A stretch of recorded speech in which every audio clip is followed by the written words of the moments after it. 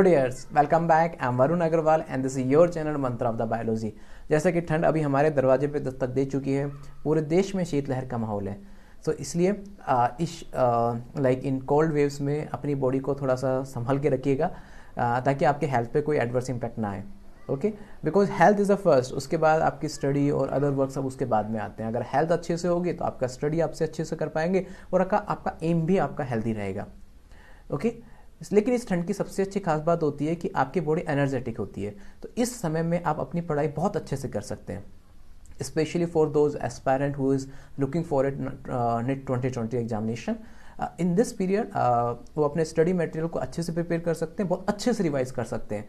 सो so, इस like uh, like इस, season का जितना हो सके भरपूर आनंद लीजिए और जितना हो सके उसका लाभ उठाइए जितना हो सके उसका बेनिफिशियल लीजिए। बिकॉज़ एक बार जब समर सीज़न स्टार्ट हो जाता है तो थोड़ा सा मौसम लेजी हो जाता है। तो उसमें कहीं ना कहीं हमारी मेहनत में भी और हमारे रेस्पॉन्स में थोड़ी सी गिरावट आ जाती है। बट ठंड के समय में आप अपने आप को और अच्छे से अपग्रेड कर सकते हैं अपने स्टडी मटेरियल को भी। सो so, आज के लेक्चर में स्टार्ट करने से पहले मैं जस्ट पाँच दस मिनट का आपसे कुछ पॉइंट शेयर करना चाहूँगा। देखिए कुछ समय पहले से ही हमारे देश में लाइक अराजकता का माहौल फैल चुका है। बहुत ऐसे लोग हैं जो हमारे देश में हिंसा फैला रहे हैं। बिकॉज़ हमारे अभी हमारे गवर्नमेंट ने एक नागरिकता संशोधन बिल प्रस्तावित किया था जो कि हमारी जो नागरिकता है उस, उसको कुछ संशोधित किया गया उसमें कुछ नए अमेंडमेंट्स ऐड किए गए। और बहुत लोग उससे असहमत थे तो उन्होंने अपनी असहमति ज़ाहिर करने का तरीका माना हिंसा। बट हमारे कॉन्स्टिट्यूशन में असहमति ज़ाहिर करने का हमें अधिकार दिए गए हैं बट हिंसा का अधिकार नहीं दिया गया। तो और अगर आप किसी से असहमत हैं तो आप उस पर अपनी असहमति ज़ाहिर कर सकते हो, बट हिंसा नहीं, अहिंसा से। शांतिपूर्ण तरीके से असहमति ज़ाहिर कर सकते हो। बिकॉज़ हिंसा किसी का किसी भी लाइक तरीके का कोई भी तरीका कोई भी तरीका हिंसा किसी भी तरीके को ज़ाहिर नहीं करती। और हिंसा एक नेगेटिविटी है। और एक नेगेटिविटी से कभी भी कोई पॉजिटिव आउटकम नहीं आ सकते। नेगेटिविटी से हमेशा नेगेटिविटी ही आती है। और आप ये अच्छे से चीज़ों को देख सकते जो एक्सपीरियंस लोग हैं वो शायद इस बात को अच्छे से समझ सकते होंगे कि कभी भी किसी नेगेटिव काम करने से कभी कोई पॉजिटिव आउटकम नहीं आते। सो so, इसलिए मेरा अनुरोध है उन सभी लोगों से कि जो इस हिंसा में है प्लीज़ अपने आप को इस हिंसा से दूर रखिए। और आ, और आ, बहुत ऐसे लोग हैं जो इवन जानते भी नहीं कि ये नागरिकता संशोधन बिल क्या है।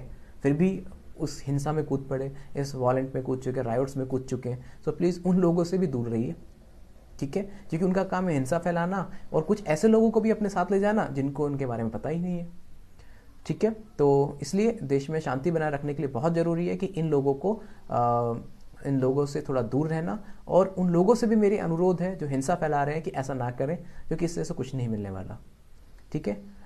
क्योंकि देश आज भी है कल भी है और आगे आने टाइम में भी रहेगा लेकिन हिंसा नहीं रहेगी। सो so, आज के लेक्चर को स्टार्ट करने से पहले बस मेरा ये अनुरोध है आपसे कि इस तरह का कोई काम मत कीजिए जो हमारे देश में नेगेटिविटी क्रिएट किए क्रिएट करे। So today's lecture twelve the based on the kingdom Protista okay in this lecture we will discuss about the some introduction and the its member okay and in the previous lecture we have discussed already about the Monera kingdom जिसमें हमने bacteria के बारे में discuss किया और उसमें बहुत सारे लेक्चर्स हमने कवर किए। और इन केस अगर आपने अभी तक नहीं देखा है वो लेक्चर हमारे तो प्लीज़ उन लेक्चर्स को आप ज़रूर देख लीजिएगा जिससे आप सिक्वेंस में स्टडी कर सकते हैं। The Protista kingdom it was given by the Haeckel and the protista as I, we told you earlier like it show the worst variety in the living organism. Because हमारे living organism में vast uh, variety है बहुत सारी variety देखी जाती है, वो सभी वैरायटी प्रोटेस्टा में कवर की जाती है। दैट्स वाई इसको हम डस्टबिन किंगडम मानते हैं। So the diversity can be observe in terms of the mode of nutrition on the basis locomotion and the cell structure nutrition के पॉइंट ऑफ़ व्यू से लोकोमोशन मतलब चलने के पॉइंट ऑफ़ व्यू से cell structure के point of view से, बहुत सारी डाइवर्सिटी आपको प्रोटेस्टा में मिलेगी। मतलब केवल एक ही टाइप के ऑर्गेनिज्म नहीं मिलेंगे, आपको बहुत टाइप के ऑर्गेनिज्म इसमें मिलेंगे। It include the all eukaryotic and the unicellular living organism algae, fungus and the protozoa देखिए यूकेरियोटिक पहले जो ऑर्गेनिज्म थे मोनेरा वो यूनिसेलुलर थे बट अब थोड़ा सा डेवलपमेंट हो गया, अब वो प्रोकेरियोटिक से यूकेरियोटिक हो गए। तो नया साल डेवलप हुआ तो मतलब नई तरीके से डेवलपमेंट हुआ है तो उसमें अब क्या क्या आया होगा? देखिए यूकेरियोटिक है तो मतलब स्टोन प्रोटीन कहीं ना कहीं स्टोन प्रोटीन आ गया, ठीक है? और इसके अलावा कुछ सेल ऑर्गनल्स अब बनना स्टार्ट हो चुके हैं ओके तो सेल का जो फ़ंक्शन है, पहले से ज़्यादा डेवलप हो चुका है। Member of the protista are the primarily aquatic ये जनरली एक्वेटिक होते हैं। Uh, इस इस किंगडम की जो मेंबर्स हैं वो जनरली प्लांट एनिमल और फंगस के बीच में लिंक प्रोड्यूस करते हैं। देखिए प्रोटिस्टा में बहुत सारे ऐसे किंगडम्स सारे मेंबर्स हैं जैसे कि प्रोटोजोआ प्रोटोजोआ बेसिकली ऐसा कहते हैं कि ये एनिमल का एक प्रिमिटिव फॉर्म है। इसमें एल्गी है। एल्गी ऐसा मानते हैं कि ये प्लांट का प्रिमिटिव फॉर्म है। ठीक है? सो so, इसमें ऐसे लाइक ऐसे ऑर्गेनिज्म हैं जिनका आने वाले टाइम से बहुत ज़्यादा कनेक्शन है। इसलिए ये uh, इनके जो ऑर्गेनिज्म है प्लांट के साथ भी अपनी लिंक शो करते हैं एनिमल के साथ भी लिंक शो करते हैं इवन फंगस के साथ भी लिंक शो करते हैं। दैट्स वाई इस किंगडम का एक इंपॉर्टेंट लिंक है with other groups So the being eukaryotes, the protein cell body contain a well-defined nucleus and the other membrane-bound cell organelles. And इसमें सेवेंटी एस राइबोसोम प्रेजेंट होता है। लेकिन जो Monera होता है उस मोनेरा में आपका कौन सा था? याद कीजिए कौन सा इसमें था आपका सोचिए कौन सा था? उसमें सेवेंटी एस राइबोसोम होता है। लेकिन राइबोसोम मेम्ब्रेन बाउंड नहीं होता है। ये फ्री ये लाइक मेम्ब्रेन इसमें मेम्ब्रेन नहीं होती है। इसमें वेल डिफाइंड न्यूक्लियस होता है। मतलब इसमें न्यूक्लियस आपको दिखाई देगा। वेल डिफाइंड न्यूक्लियस में वेल न्यूक्लियस आपको दिखाई देगा और न्यूक्लियस डबल मेम्ब्रेन होता है जिससे क्योंकि इसके अंदर डीएनए होता है and DNA is the boss of the cell. तो भाई अब बॉस है तो उसको तो सिक्योरिटी देनी होगी ना। इसके अलावा इसमें अदर मेम्ब्रेन बाउंड ऑर्गनल्स भी मिलते हैं। देखिए हमने जब आ, हम प्रोक्रियोटिक पढ़ रहे थे लाइक जो हम पहले बैक्टीरिया के बारे में देख रहे थे अब उसमें कोई और अदर सेल ऑर्गनल्स तो थे नहीं तो सारा काम सेल मेम्ब्रेन को ही करना पड़ रहा था। जैसे कि आ, उसमें रेस्पिरेशन करना है तो वो भी सेल मेम्ब्रेन को करना पड़ रहा था ओके एंड लाइक उसमें कुछ और भी फ़ंक्शंस प्रोड्यूस करने लाइक डिवीज़न करना है या कुछ और भी फ़ंक्शंस करने पड़ रहे हैं वो भी सेल मेम्ब्रेन को करना पड़ रहा था। हाँ बट इतना है इतना ज़रूरी है कि ऐसा नहीं है कि सभी like membrane bound organelles present है। लेकिन अभी भी प्रोटिस्टा में भी ऐसा नहीं कि सारे cell membrane bound organelles present हो गए। ऐसा नहीं था। जैसे कि आ, जैसे कि आ, क्लोरोप्लास्ट आ गया प्लांट के अंदर। क्लोरोप्लास्ट था वो प्लांट सॉरी प्लांट सॉरी इसमें प्लांट नहीं एल्गी में आ गया क्योंकि एल्गी ही बाद में प्लांट में कन्वर्ट हो गए। सो so, मतलब मेम्ब्रेन बाउंड ऑर्गेनल्स का बनना स्टार्ट हो गया। सारे मेम्ब्रेन बाउंड ऑर्गेनल्स नहीं थे। धीरे धीरे मेम्ब्रेन बाउंड ऑर्गेनल्स बनना स्टार्ट हो गया। मतलब सबको अपना अपना काम दे दिया। जैसे आपने देखा होगा कि हमारे यहाँ पे मिनिस्ट्री है होम मिनिस्ट्री है, ठीक है? इसके अलावा रक्षा मंत्रालय है डिफेंस मिनिस्ट्री है, ओके? इसके अलावा टेक्सटाइल मिनिस्ट्री है। तो मतलब हर एक मिनिस्टर को अपना अपना काम दिया गया है। अब मान के चलिए प्राइम मिनिस्टर पर सारा काम छोड़ दे कि तुम ही गृह मंत्री हो, तुम ही रक्षा मंत्री हो, और सभी तरह के मंत्री तुम ही हो। तो मंत्री भी सारा काम कैसे करेंगे? तो इसलिए उन्होंने अपने अपने डिपार्टमेंट बना दिए कि तुम गृह मंत्रालय काम तुम देखो, रक्षा मंत्रालय काम तुम देखो एंड ये टेक्सटाइल मिनिस्ट्री है तुम देखो। ऐसे सब उन्होंने लाइक डिवाइड कर एजुकेशन मिनिस्टर है एचआरडी मिनिस्टर है, ये तो काम तुम देखो। हाँ रिपोर्ट तुम प्राइम मिनिस्टर को करोगे। इसलिए सारा रिपोर्टिंग डीएनए को होता है कि डीएनए चेक करता है कि सही सब काम कर रहे हैं कि नहीं कर रहे। ओके सो इसलिए मेम्ब्रेन बाउंड ऑर्गनल्स का बनना स्टार्ट हुआ। सारे मेम्ब्रेन बाउंड ऑर्गनल अभी भी नहीं बने थे बट बनना स्टार्ट हो गया था। Okay okay? क्योंकि अगर अभी सारे मेम्ब्रेन बाउंड ऑर्गनल्स बन जाएँगे तो फिर एनिमल्स और प्लांट में क्या फिर नए नए ऑर्गनल्स बनेंगे? सारे भी तो नहीं बनेंगे धीरे धीरे बनेंगे। So some have a flagella or cilia. Protista reproduce sexually and sexually by a process involving in the cell fusion and the zygote formation. Okay. Some have some it means some का मतलब like like इसमें आ, बहुत सारे ऐसे जो members हैं जिसमें flagella और सीलिया होते हैं फॉर द लोकोमोशन पर्पज लेकिन काफ़ी मेंबर्स इसमें एबसेंट होते हैं लाइक जैसे कि प्रोटोजोन्स उसमें फ्लेजिला एंड सीलिया नहीं होते उसमें आ, कुछ प्रोटोजोन्स में होते हैं और कुछ में नहीं होते ऐसे नहीं कि सब में नहीं होते लाइक पैरामीशियम में होता है लेकिन अमीबा में नहीं होता तो कुछ में होते हैं और कुछ नहीं होते। अब protist reproduce asexually and the sexually by the processing like asexually भी डिवाइड होते हैं और सेक्सुअली भी डिवाइड होते हैं। उनमें जो बेसिकली जाइगोड फॉर्मेशन होता है zygote formation basically sexual division के अंदर आता है। जाइगोड फॉर्मेशन में लाइक दो स्पोर्ट्स होते हैं आपस में हैप्लॉइड होते हैं और हैप्लॉइड बन के आपस में कनेक्ट हो जाते हैं जिससे एक टू एंड जाइगोड का फॉर्मेशन होता है। Okay okay? So so, uh, इसमें ये नहीं कह सकते कि एक प्रॉपर वे का सेक्सुअल रिप्रोडक्शन आपको देखने को मिल जाता है। ओके, अभी भी सेक्सुअल रिप्रोडक्शन भी एक डेवलपमेंट भी अपने एक पाथवे पे होता है। तो प्रॉपर वे से सेक्सुअल रिप्रोडक्शन भी अभी यहाँ देखने को नहीं मिलता। धीरे धीरे जाइगोट फॉर्मेशन हाँ इसमें ये शोर है कि जैसे लाइक जो आपने पहले देखा था तो वहाँ पे सेक्सुअल रिप्रोडक्शन जैसे कॉन्जुगेशन था, ओके ट्रांसफॉर्मेशन था और आपका ट्रांसडक्शन था। उसमें उसमें कहीं भी म्यूसिस और माइट्रोटिस नाम की कोई चीज़ नहीं हो रही थी प्रोक्यूरेटिक सेल्स से, क्योंकि वो लेकिन ये यूक्यूरेटिक सेल्स बन गए तो इसमें माइट्रोटिस भी होता है म्यूसिस सब होने लगे। तो धीरे धीरे सेक्सुअल रिप्रोडक्शन भी अपने डेवलपमेंट के फेस पे चला गया। Yeast is only unicellular while the other fungus are the multicellular देखिए ईस्ट एक ऐसा एक्सेप्शन मान सकते हो जो यूनिसेलुलर होता है। इसके अलावा जितने भी multicellular algae sorry multicellular जितने भी फंगस होते हैं, उन मल्टी सेलुलर फंगस को हम अलग से फंगस किंगडम में रखते हैं। बट ईस्ट एक ऐसा यूनिसेलुलर फंगस है क्योंकि यूनिसेलुलर और यूनिसेलुलर करेक्टरिस्टिक है प्रोटिस्टा की ओके सो so, कुछ टर्म्स हैं पहले भी टर्म्स देख लीजिए। एक्चुअली ये टर्म्स कवर मुझे पहले करने चाहिए थे बट वो किसी रीजन से शायद ये टर्म्स रह गए कवर करने से पहले।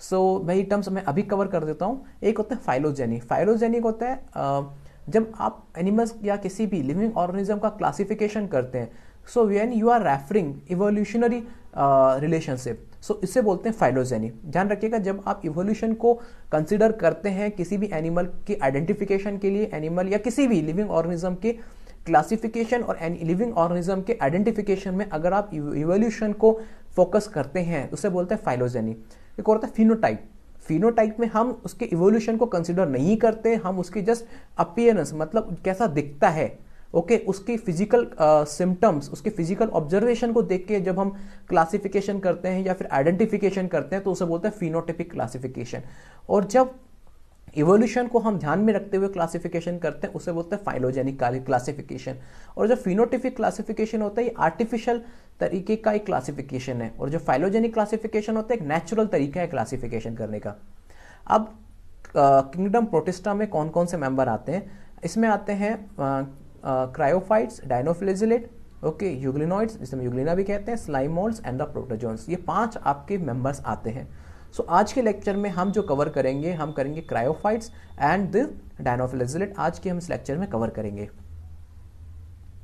क्रायोफाइट्स क्या होते हैं? They are the phytoplankton include the two following following algae पहले में uh, पहले समझिए फाइटोप्लैंक्टन क्या होता है। ये जो वर्ड है फाइटोप्लैंक्टन फाइटोप्लैंक्टन का मतलब क्या है? फाइटोप्लैंक्टन का मतलब है फाइटोप्लैंक्टन का मतलब है ऐसे स्मॉल लिविंग ऑर्गेनिज्म जो वाटर लेवल के सरफेस के ऊपर तैरते हैं। यह ध्यान रखना फाइटो मतलब होता है ध्यान रखिए ऐसे लिविंग ऑर्गेनिज्म जो सनलाइट की प्रेजेंस में अपना खाना बना सकते हैं। और प्लैंकटोन मतलब मतलब ये देखिए जनरली फ़ूड बन, खाना बनाने की जो रेस्पॉन्सिबिलिटी होती है जो फ़ूड बनाने की जो प्रोसेसिंग होती है can only they can perform by the plant only they can perform by the plant तो दैट्स उनको हम प्लैंकटोन बोलते हैं। क्या बोलते हैं? प्लैंकटोन मतलब प्लैंकटोन मतलब है plant okay and these plants are basically and बहुत छोटे होते हैं. लाइक like, uh, कह सकते हो बहुत ज़्यादा माइक्रोस्कोपिक होते हैं. माइक्रोस्कोपिक प्लांट होते हैं. दैट्स वाई इनको हम फाइटोप्लैंक्टोन की कैटेगरी में लेके आते हैं. मतलब ऐसे लिविंग छोटे छोटे प्लांट्स जो सनलाइट के प्रेजेंस में खाना बना सकते हैं उनको फाइटोप्लैंक्टोन कहते हैं. एंड इनमें दो एल्गीज आती है. एक होती है डायटम्स और दूसरी होती है डेस्मिट डेस्मिट का दूसरा नाम है गोल्डन एल्गी अब डेस्मिट क्या है? Desmid basically they are found in the fresh water और as well as marine environments also marine और फ्रेश में फ़र्क क्या होता है कि फ्रेश में जो सॉल्ट का जो लेवल होता है, बहुत कम होता है। मतलब सोडियम क्लोराइड का लेवल बहुत कम होता है। खारा पानी नहीं होता। है मेराइन बेसिकली खारा पानी होता है like sea and ocean fresh water में बेसिकली रिवर पॉन्ड या लेक उसमें आते हैं। They are the microscoping and float in the water plankton देखिए फाइटो प्लैंटोन का मतलब होता है जो सरफेस के ऊपर तैर सकते हैं। And even most of the most of like your algaes जो भी वो फाइटो होते हैं, वो सरफेस के ऊपर तैरते हैं। क्यों तैरते हैं? बिकॉज़ अगर सरफेस के ऊपर तैरेंगे, जब भी तो वो सनलाइट को ट्रैप करके खाना बना पाएँगे। अगर वो बिल्कुल सिंक में चले जाएँगे मतलब डूब जाएँगे बॉटम पे चले जाएँगे तो खाना कैसे बनाएँगे? सनलाइट कैसे मिलेगी? और ये बहुत ज़्यादा सूक्ष्म होते हैं, बहुत माइक्रोस्कोपिक होते हैं। That's why we call them as a plankton phytoplankton which float on the water currents current मतलब वाटर की वेव्स उन्हें हम करंट्स बोलते हैं। ओके वो मतलब हमें वेव्स में मतलब आपको most of them are the photosynthetic मतलब most of desmids are the photosynthetic chrysophytes देखिए ये जो डेस्मिड एंड द डायस्टम दोनों क्रायोफाइट्स में आते हैं। क्रायोफाइट में पिगमेंट होता है फ्यूकोजेंथिन अब ये फ्यूकोजेंथिन की वजह से ये जो क्रायोफाइट्स होते हैं बेटा क्रायोफाइट्स में बेसिकली क्रायोफाइट्स में जो डेस्मिड है क्रायोफाइट्स में ये जो क्रायोफाइट्स लिखा है ना क्रायोफाइट्स ठीक है? इस क्रायोफाइट्स में बेसिकली जो डेस्मिड होता है, उसमें एक पिगमेंट होता है फ्यूकोजेंथिन ये जो फ्यूकोजेंथिन होता है फ्यूकोजेंथिन एक तरह का पिगमेंट है। पिगमेंट है तो मतलब क्या करेगा? इस सनलाइट को ट्रैप करेगा। ये तो क्लियर हो गया? मतलब पिगमेंट और सनलाइट को ट्रैप करेगा। Because because to the because to the presence of the pigment fucoxanthin एक पहले मतलब पहले इसको साइनोबैक्टीरिया का स्पेशलाइज फॉर्म माना जाता था कि ये, देखिए साइनोबैक्टीरिया क्या है? मोनेराम में। और प्रोटेस्टा उससे डेवलप्ड है। तो ऐसा मानते थे कि साइनोबैक्टीरिया में ही कहीं डेवलपमेंट हुआ है और ये फ्यूकोजेंथिन बने हैं। ऐसा माना जाता था। बट एक्जैक्टली ऐसा नहीं होता कि पिगमेंट प्रेजेंट है तो इसलिए मान ली कि शायद उन्हीं से डेवलप हुए होंगे भाई यूनिस प्रोक्रियोट से जब यूकेरियोट डेवलपमेंट हुआ तो शायद ये साइनोबैक्टीरिया से डेवलप हुए होंगे। ओके और जो डेस्मिट जो एक गोल्डन गोल्डन कलर जो इम्पार्ट करते हैं that in the impart only due to the present of the pigment fucoxanthin केवल फ्यूकोजेंथिन पिगमेंट होने की वजह से ही ये इस गोल्डन uh, कलर को इम्पार्ट करते हैं। मतलब एक्चुअली जो पिगमेंट uh, जो पिगमेंट होता है ये colour actually like golden colour golden colour impart करता है जिसलिए आपको गोल्डन कलर दिखाई देता है। Okay okay? देखिए कोई पिगमेंट जब कोई कलर लाइक जो कलर जैसे फॉर एग्ज़ाम्पल आपको कोई ग्रीन कलर दिखाई दे रहा है मतलब because of the chlorophyll simple हम एग्ज़ाम्पल लेके चलते हैं क्लोरोफिल का, क्योंकि आप देख सकते हो हमारे नेचर में. इट मीन्स वो आपको क्यों दिखाई दे रहा है? मतलब वो केवल ग्रीन कलर को एब्जॉर्ब नहीं कर पा रहे और सारी लाइट को एब्जॉर्ब कर रहे हैं और ग्रीन कलर को रिफ्लेक्ट कर रहे हैं. इसलिए आपको ग्रीन दिखाई देता है. वैसे ही फ्यूकोजेंथिन जो पिगमेंट होता है, वो सारे कलर को एब्जॉर्ब कर लेता है. केवल आपको जो येलो येलो या फिर जो डार्क येलो कलर जैसा कुछ गोल्डन आपको वो रिफ्लेक्ट करता है और वो आपको दिखाई देता है. Okay okay? सो अब हम स्ट्रक्चर लेके चलते हैं। जैसे मान के चलिए कि ये जो डेस्मिड है, ये दिख रहा है? ये जो है, ये डेस्मिड की एक सेल है ओके इसके अंदर दो फ्लेजिला प्रेजेंट होते हैं। एक फ्लेजिला जो होता है, वो होता है स्मूथ मतलब इनएक्टिव फ्लेजिला और दूसरी साइड आप देखेंगे राइट साइड पे कुछ हेयर टाइप ऑफ़ स्ट्रक्चर होते हैं, जिसको बोलते हैं मैस्टिनोगोनिम्स जैसे एक्टिव फ्लेजिला होता है या हेरी फ्लेजिला हमको बोलते हैं। देखिए इसमें दो फ्लेजल हैं। मैंने बोला था लोकोमोशन है तो लोकोमोशन के लिए प्रेजेंट होगा। Nucleus is always present in the all cells and nucleus होगा मतलब यूकेरियोटिक है तो न्यूक्लियस होगा ही होगा। ओके okay, इसमें दो फ्लेजला प्रेजेंट है। One is inactive flagella and second one is active flagella active flagella contain the hairy kind of structure okay एक चीज़ याद रखिएगा। इन केस अभी भी आपको कंफ्यूजन हो डबल जो आपके जो सेल ऑर्गनल्स से मैं आपको क्लियर कर देता हूँ। वो आपको मैं क्लियर कर देता हूँ। ऐसा ज़रूरी नहीं है कि सारे सेल ऑर्गेनल्स प्रेजेंट होंगे। डबल लाइक जो लाइक जो मेम्ब्रेन सेल ऑर्गेनल्स प्रेजेंट होंगे। Membrane bound cell organelles present होंगे। ऐसा ज़रूरी नहीं है कि यूकेरियोटिक बन गया तो सारे प्रेजेंट होंगे। ओके okay, जैसे कि अमीबा अमीबा के अंदर नहीं होता।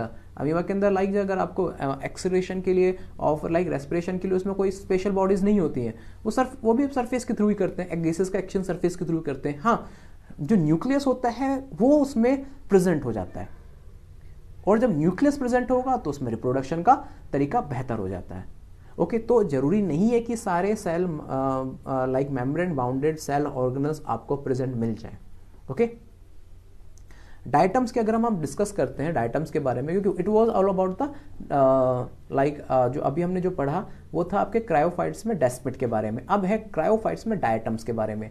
देखिए, ये क्वेश्चन बहुत रिपीटिवली पूछा जाता है तो इस क्वेश्चन को आप हमेशा याद रखिएगा।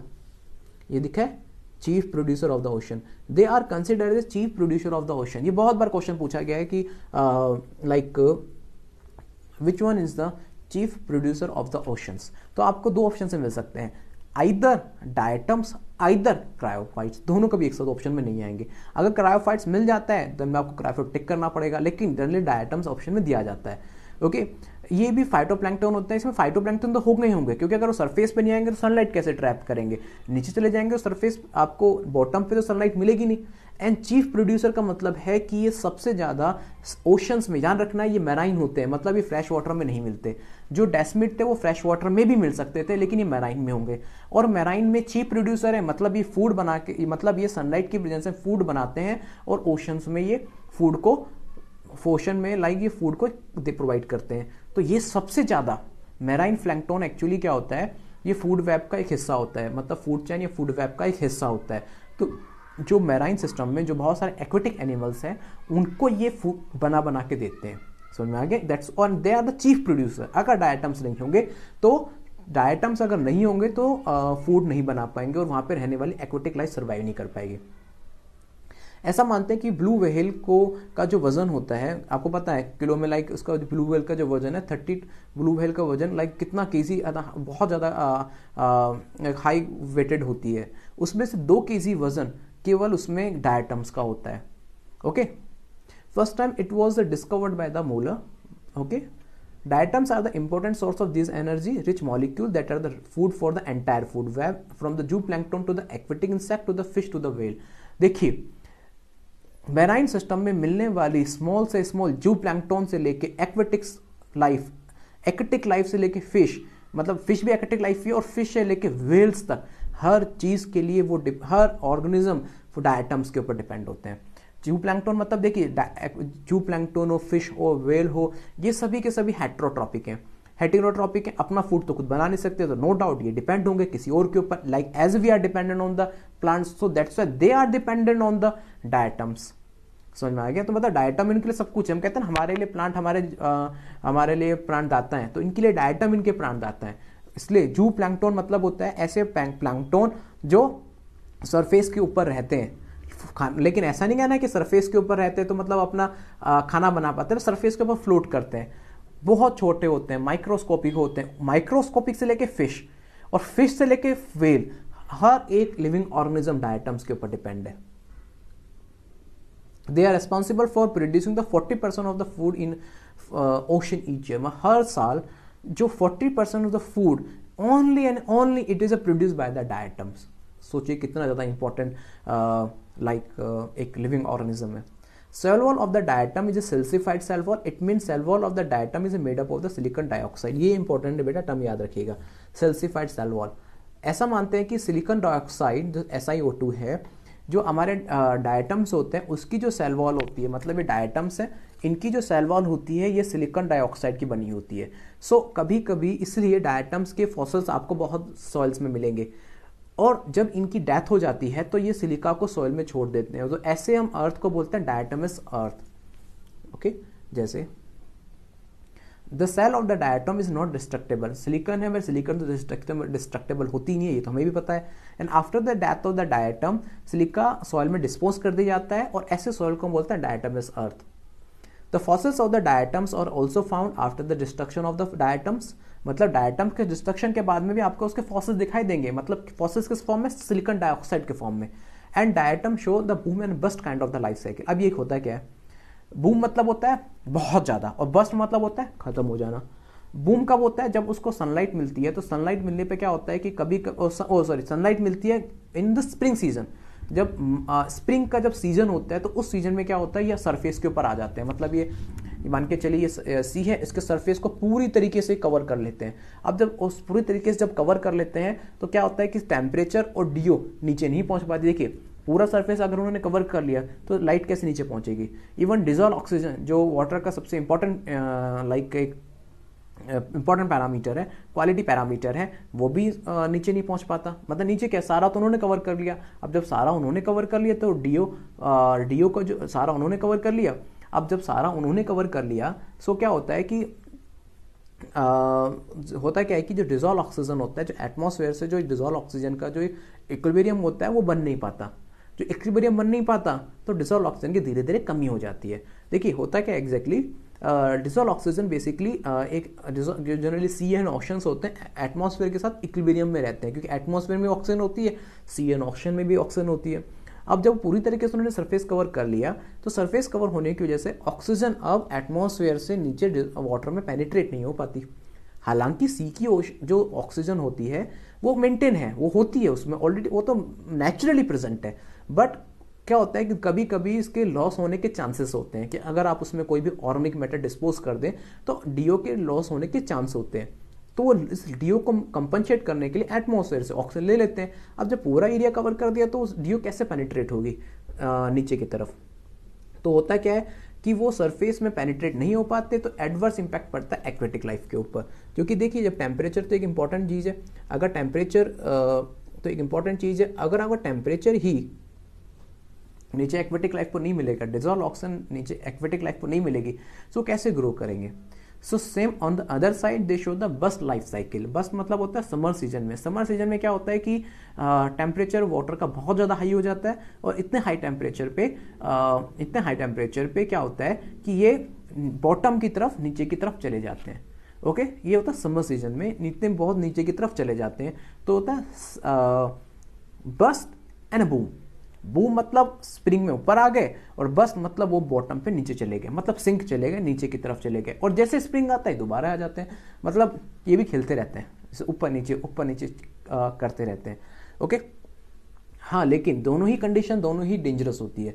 दोनों की लाइक कंडीशन क्या कहने का मतलब? एक्सट्रीम कंडीशन एक्सट्रीम बूम और एक्सट्रीम बस दोनों ही डेंजरस होती है एक्वेटिक लाइफ के लिए। क्योंकि एक्सट्रीम बूम से क्या होता है कि like temperature and DO penetrate नहीं हो पाता।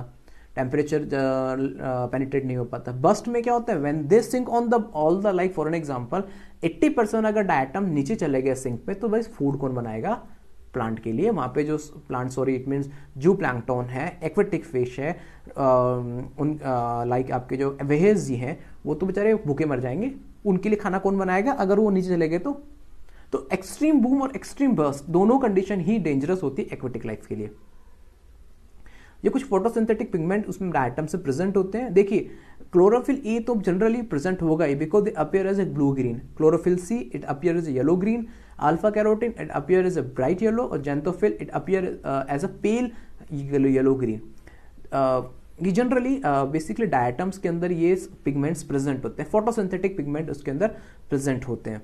ओके okay, जो फ्यूकोजेंथिन है वो फ्यूकोजेंथिन बेसिकली आपका प्रेजेंट होता है डेस्मिड के अंदर। और डायटम्स के अंदर ये बेसिकली प्रेजेंट होते हैं। तो chlorophyll a chlorophyll c alpha carotene है जेंथोफिल तो अपियर होते हैं तो आ, ये लाइक जेंथोफिल की तरह लाइक ये सब आ, जो लाइक पिगमेंट का जो कलर है पिगमेंट का ये जो कलर है ये पिगमेंट के कलर की वजह से पिगमेंट के कलर की वजह से ये डायटम आपको ऐसा दिखाई देगा। ज़रूरी नहीं है कि डायटम्स में ये सारे के सारे लाइक पिगमेंट्स प्रेजेंट हो। ओके क्लोरोफिल ए तो जनरली हर पिगमेंट में प्रेजेंट होता ही है। जनरली हर ऐसे पिगमेंट प्रेजेंट होगा ही होगा क्लोरोफिल ए तो प्रेजेंट होगा ही होगा। Okay they may also contain the chlorophyll c they may also contain alpha carotene they may also contain xanthophyll so आपको ये एज ए अपियर दिखाई देंगे। They may appear as a yellow green they may appear as a bright yellow they may appear as a pale yellow green तो अगर वो pale yellow green दिखाई दे रहे it mean they have xanthophyll अगर आपको ब्राइट येलो दिखाई दे रहे हैं, दे में अपेयर अल्फ़ा कैरोटीन अगर आपको येलो ग्रीन दिखाई दे रहे हैं तो ये क्लोरोफिल सी और अगर आपको क्लोरोफिल ए दिखाई दे रहे हैं, दो में अपेयर ब्लू ग्रीन तो वो थोड़ा सा आपको साइनोबैक्टीरिया जैसा दिखाई देगा। हाँ कभी कभी ऐसा होता है कि कोई एक पिगमेंट जैसे क्लोरोफिल ए और क्लोरो फॉरन क्लोरोफिल ए और जेंथोफिल दोनों प्रेजेंट है। ओके दोनों उसमें प्रेजेंट है। सो वो हो सकता है आपको पेल येलो दिखाई दे। तो इट मीन जेंथोफिल है, वो क्लोरोफिल ए के ऊपर डोमिनेंट हो जाता है, वो पिगमेंट और अपना इंडिकेशन ज़्यादा अपना अपना जो कलर है वो ज़्यादा अच्छे से इंडिकेट कर पाता है। ओके लाइट के रिफ्लेक्शन पे डिपेंड करता है कि कौन सा कलर अब दिखाई देगा।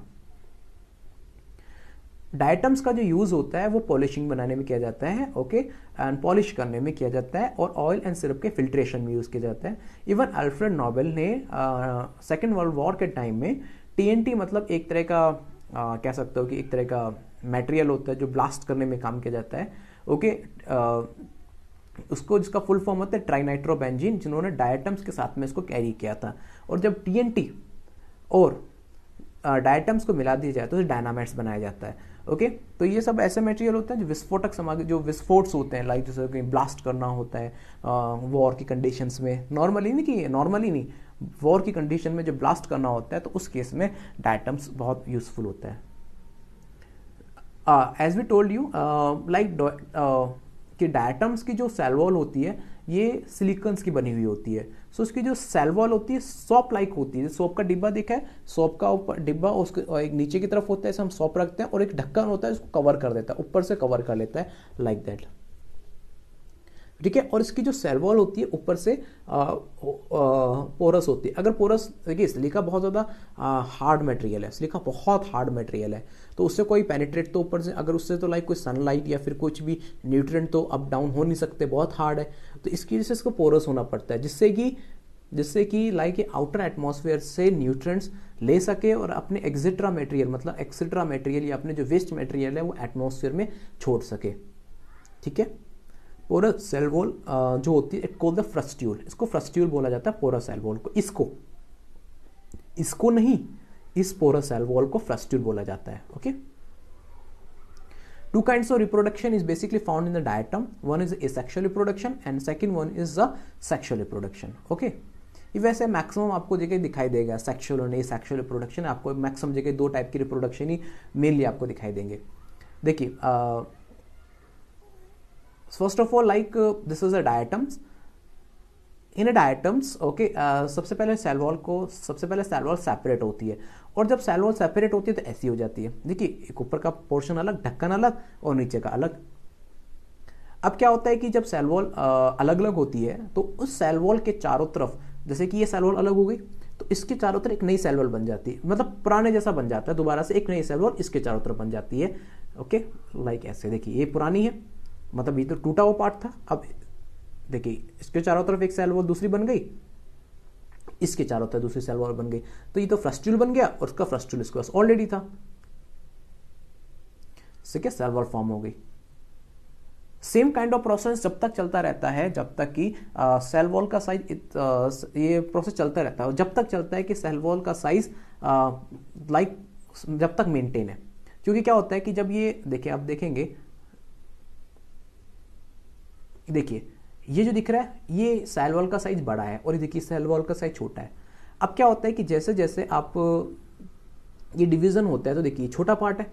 अब जैसे इसमें डिवीज़न हुआ तो सेल वॉल का साइज़ अब कम हो गया। तो क्या होता है कि जैसे जैसे ये प्रोसेस मूव होता है, अब अगेन क्या होंगे, ये दोनों ही अलग हो जाएँगे ये ये भी अलग हो जाएगा, ये भी अलग हो जाएगा, ये दोबारा से अलग हो जाएँगे, ये दोबारा से अलग हो जाएगा।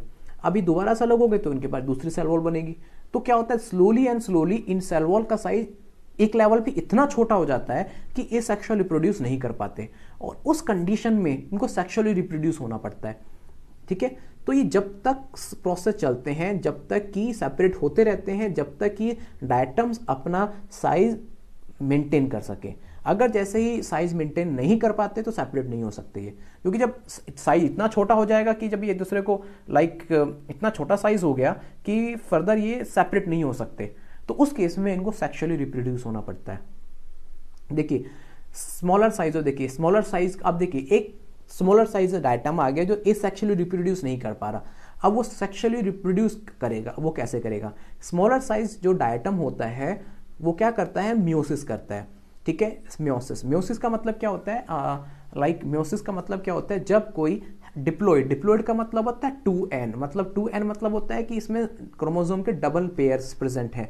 तो उसे बोलते हैं डिप्लोइड और म्योसिस से क्या होता है? वो डिप्लोइड जो होती है हैप्लोइड सेल में कन्वर्ट हो जाती है। और हैप्लोइड यहाँ पे बनाता है सिंगल सेल सिंगल सॉरी या कह सकते हो, एक ऐसी सेल जिसमें अब केवल क्रोमोजोम का केवल एक ही पेयर प्रेजेंट है। मतलब टू एन सेल गैमिट्स में कन्वर्ट हो जाती है थ्रू द मियोसिस ओके तो अब एक स्मॉलर साइज़ जैसे कि स्मॉलर साइज़ है, जैसे कि मान के चलिए कि एक डायटम है और डायटम में म्योसिस हुआ। म्योसिस हमेशा याद रखिएगा टू एन सेल में ही म्योसिस होता है। मतलब जो म्योसिस है, जो सॉरी जो डायटम है, वो क्या है जो डायटम है, वो डिप्लॉइड है, जिसने म्योसिस होकर दो गैमेट्स बना लिए। अब एक बना मेल गैमेट्स और एक बना फीमेल गैमेट्स मतलब उसमें दो गैमेट्स बना लिए। एक बन गया मेल मान के चलिए मेल मान लीजिए, ये फीमेल गैमेट्स मान लीजिए। दोनों में क्या है, दोनों में क्रोमोजोमल नंबर स्मॉल एन है एन है। मतलब single pair of chromosome present है। ये जो मेल गैमिट्स होता है मोटाइल होता है, और जो फीमेल गैमिट होता है, वो नॉन मोटाइल होता है। मोटाइल मतलब ये चल पाता है मेल गैमिट्स और फीमेल गैमिट चल नहीं पाते।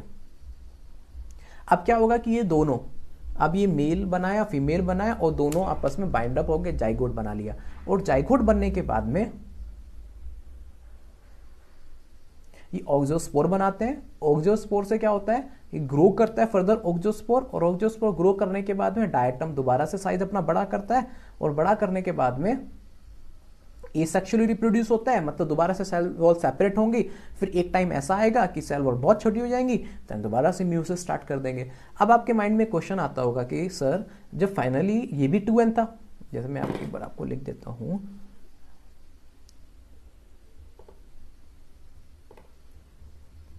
टू एन ये भी टू एन था ठीक है? और सर आ, आपने बोला ये भी टू एन है।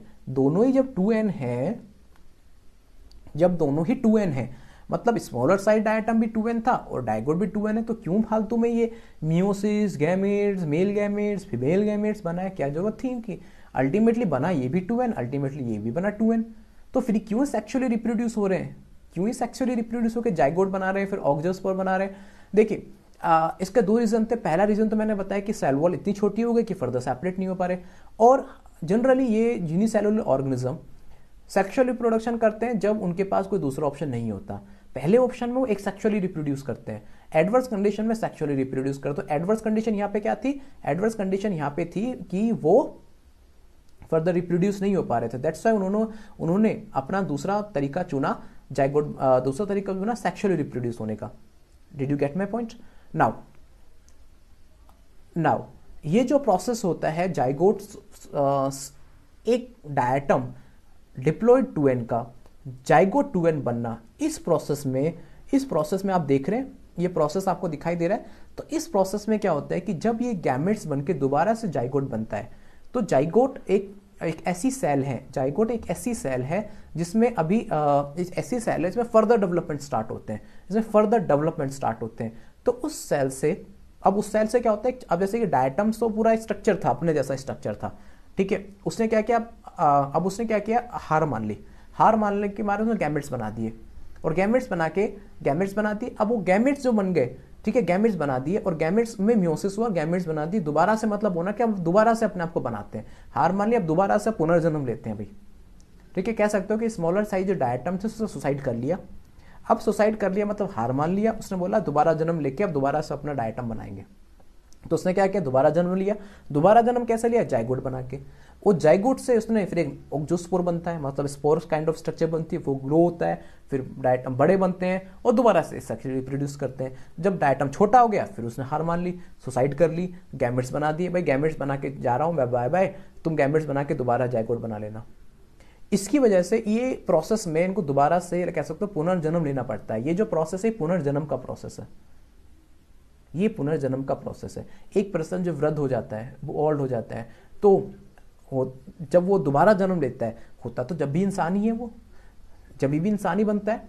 इंसान के मरने के बाद भी तो इंसान ही बन रहा है। लेकिन क्या हुआ कि जब वो नहीं कर पा रहा था अपनी ग्रोथ तो उसने, उसकी डेथ हो गई। फिर उसने दोबारा से जन्म लिया। दोबारा से भी तो है तो दोनों की सेल्स वैसी ही अभी भी। लेकिन अब वो दूसरे तरीके से और अच्छे तरीके से और नए तरीके से डेवलप हो रहा था क्योंकि वो उसमें सारे सेल ऑर्गन्स काम करना बंद कर चुके थे। क्लियर हो गया? होता है थोड़ा थोड़ा कन्फ्यूज़न होना चाहिए। और अगर ह्यूमंस के पॉइंट ऑफ़ व्यू से बात करें तो जायगोट बनने के और भी पर्पज है। केवल यही पर्पज नहीं है। ह्यूमंस के पॉइंट ऑफ़ व्यू से दूसरे पर्पज है। वो दूसरे पर्पज में बाद में बताऊँगा। जब मैं आपको सेलुलर जब मैं आपको सेल साइकिल पढ़ाऊँगा। अब आता है आपका डायनोफ्लेजलेट तो ये था हमारा खत्म हो गया। आ, ये हमारा खत्म हुआ एक मिनट बेटा क्रायोफाइट, जिसमें हमने डेस्मिड और डायटम्स के बारे में पढ़ा। अब आता है डायनोफ्लेजलेट। जैसा कि नाम ने बताया कि इसमें दो फ्लेजिला होते हैं और मतलब ही मोटाइल होंगे। डाइनो मतलब डाई मतलब दो flagellate. And mostly they are the part of the marine ecosystem and few of species are also found in the fresh water देखिए, आपने जो देखा था, डेस्मिड, वो भी ऐसे था फ्रेश वाटर में था और मैराइन में भी था। डायटम केवल मैराइन में था। डायनोफ्लेजिलेंट की मोस्टली मतलब most of species 70 to 80 percent से ऊपर स्पीसीज आपकी कहाँ होती है? मैराइन में होती हैं, लेकिन कुछ स्पीसीज फ्रेश में भी होती हैं, कुछ ही होती हैं, लेकिन डेस्मिड में ऐसा नहीं था। डेस्मिड में मतलब आधी उसमें फ्रेश और आधी मैराइन में। इसमें 80 परसेंट आपकी मैराइन में और 20 परसेंट फ्रेश में। और डायट मतलब हंड्रेड परसेंट मैराइन में। This is an important group of the phytoplankton and also significant role in the food chain exactly क्या होता है कि डायटम इज़ चीफ प्रोड्यूसर और डायटम के बाद नंबर आता है डायनोफ्लेजलेट्स का। तो they are the secondary main producer of the marine system after the diatom समझ में आ that's they also important phytoplankton play the very important role in the food chain okay and इसलिए dinoflagellate बहुत important algae है। याद रखिएगा algae है okay confuse में chrysophytes dinoflagellate ये जो सब एल्गी है मतलब डैसमी डायटम डायनोफ्लेजलेट एल्गी है। और कुछ ऐसे डायनोफ्लेजलेट्स होती हैं जो बायोल्यूमिनेसेंस प्रोड्यूस करते हैं। बायोल्यूमिनेसेंस का मतलब होता है कि ऐसे लिविंग ऑर्गेनिज्म जो लाइट प्रोड्यूस करते हैं और हिंदी में बोलते हैं जैव प्रदीप्ति। मतलब ऐसे लिविंग ऑर्गेनिज्म जो लाइट प्रोड्यूस करते हैं। जैसे आ, बहुत सारे आपको ऐसे लिविंग ऑर्गेनिज्म देखने को मिल जाएँगे जो अंधेरे में लाइट प्रोड्यूस करते हैं। Okay? So and sometime seen in the sea generally they emit the blue green light. Example के लिए गोनिकॉलिक्स एंड नॉक्टिलिका ओके ये बायोलिमिनेसेंस के एग्ज़ाम्पल है. Okay they appear yellow green brown blue और red depending on the main pigment present in their cell मतलब वो cell में कौन सा पिगमेंट प्रेजेंट होता है, उसके ऊपर डिपेंड करता है कि ये क्या दिखाई देंगे. मतलब वो येलो भी दिखाई दे सकता है ग्रीन भी दिखाई दे सकता है ब्राउन ब्लू रेड कैसा भी दिखाई दे सकता है. बट जनरल ये गोल्डन ब्राउन कलर एग्जिबिट करते हैं मतलब प्रोड्यूस करते हैं. ये एक इंपॉर्टेंट क्वेश्चन है।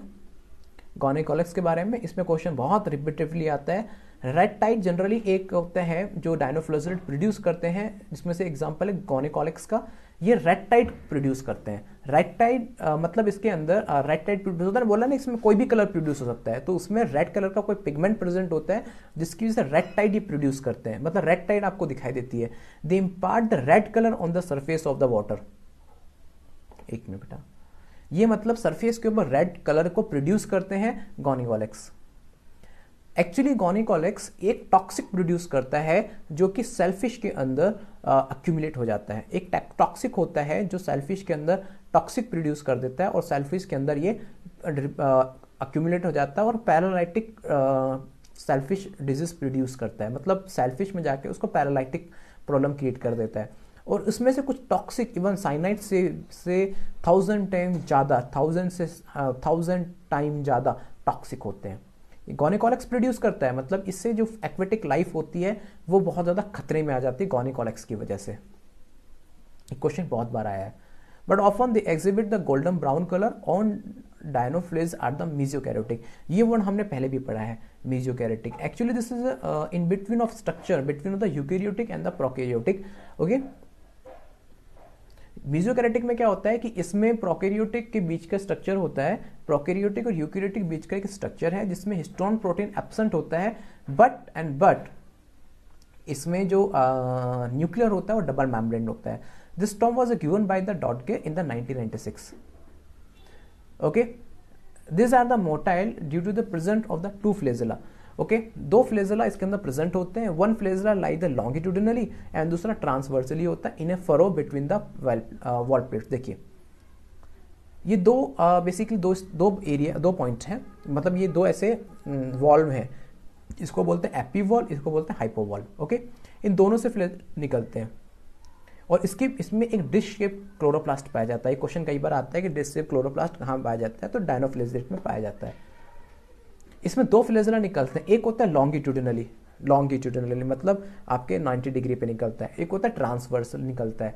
ओके अब ये जो ट्रांसवर्सन होता है, ये देखिए सेल ये जो सेल की प्लेट्स हैं, उनके बीच में से निकलता है। उनके फरो मतलब बीच में काटता हुआ निकलता है, जिसे ट्रांसवर्स फ्लेजिला कहते हैं। ओके फ्लेजिला जो लॉन्गिट्यूडनल फ्लेजिला होते हैं, वो लेंथ में ज़्यादा बड़े होते हैं ट्रांसवर्सनल फ्लेजिला लेंथ में छोटे होते हैं। और इस टाइप के फ्लेजिला को बोलते हैं हेट्रोकॉन फ्लेजिला ओके okay, अगर दोनों फ्लेजिला का साइज़ डिफरेंट है तो उसे बोलते हैं हेट्रोकॉन फ्लेजिला अगर दोनों फ्लेजिला का साइज़ सेम है तो उसको बोलते हैं आइसोकॉन फ्लेजिला ये हेट्रोकॉन फ्लेजिला बहुत सारे लिविंग ऑर्गेनिज्म की ये स्मॉल लिविंग ऑर्गेनिज्म की माइक्रोस्कोप लिविंग ऑर्गेनिज्म की करेक्टरिस्टिक है। ये बहुत बार आप वर्ड देखेंगे heterokont flagella they show the spinning kind of motion call the whirling whips देखिए ये मैंने बोला था ये ऊपर वाला जो स्ट्रक्चर है एपीवॉल्व है और नीचे वाला स्ट्रक्चर हाइपोवॉल्व है। ओके अब देखिए, इसमें दो फ्लेजिला होते हैं एंड ये दोनों फ्लेजिला अपोजिट डायरेक्शन में होते हैं। तो आप सोचिए, इनका मोशन कैसे करेंगे? अगर ट्रांसफ़र फ्लेजिला कहेगा इधर जाना है। लॉन्गिट्यूडनल कहेगा मुझे इधर जाना है। अब बेचारा डायनोफ्लेट दोनों के बीच में कंफ्यूज कि भाई मैं किसकी बात मानूँ? ट्रांसवर्स फ्लेजिला की बात मानूँ लॉन्गिट्यूडनल फ्लेजिला की बात मानूँ? तो वो क्या करते हैं? ये विरलिंग विप्स मतलब ऐसे रोटेट करते हैं ऐसे रोटेट करते हैं at one axis spinning spin करता है क्योंकि अगर भाई दोनों की बात मानने लगा तो कभी एक डायरेक्शन में जा ही नहीं पाएगा यहाँ खिंचता रहेगा मतलब एक, एक क्या कहते हैं टेबल टेनिस की तरह बीच में फंसा रहेगा। इसलिए इसमें विरलिंग विप्स होता है इस तरीके से मूव इट करता है इस तरीके से ये मूव करते हैं okay the cell wall has a stiff cellulose plates on the outer surface ये देखिए। ये जो दिख रहा है हमने ब्लैकिश इसलिए किया है क्योंकि इनकी जो सेल वॉल होती है सेलुलोस से बनी हुई होती है ओके एक्चुअली सेलुलोस की प्लेट्स होती हैं। Cell wall is made up of the parallel cellulose plate attached to each other and it form a new structure called the theca and the lorica. देखिए, ये देखिए सॉरी ये देखिए cell wall दिख रहा तो ब्लैकिश ब्लैकिश ऐसी, ऐसे ऐसे सेलुलोज की लेयर्स की बनी होती है इसको हम थीका कहते हैं। ठीक है? जैसे अब मैं आपको दोबारा दिखा देता हूँ। ये दिख रहा है ये?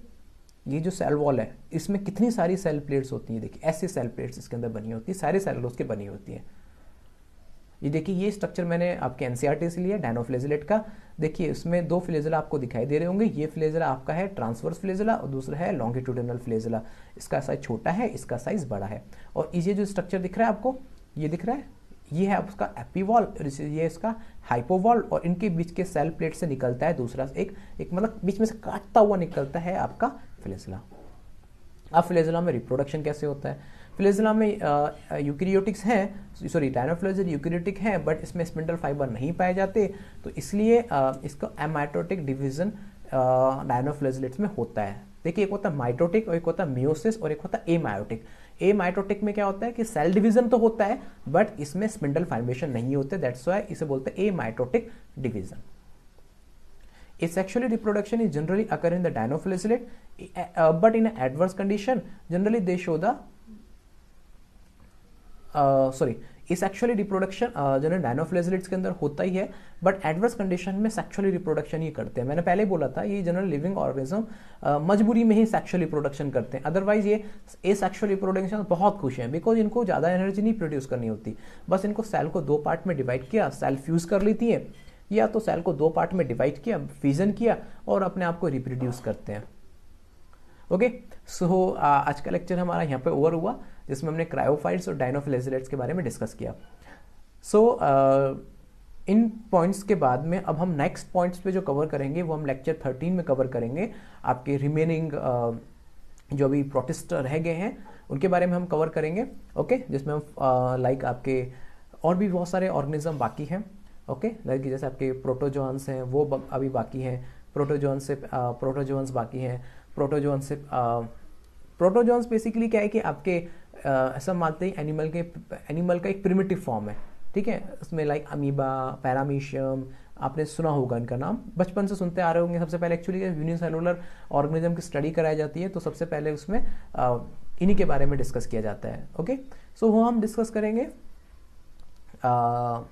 लाइक इन, जो हमारे जो नेक्स्ट लेक्चर है, उसके बारे में डिस्कस करेंगे। ओके सो यहाँ पे लाइक हमारा लेक्चर ओवर होता है।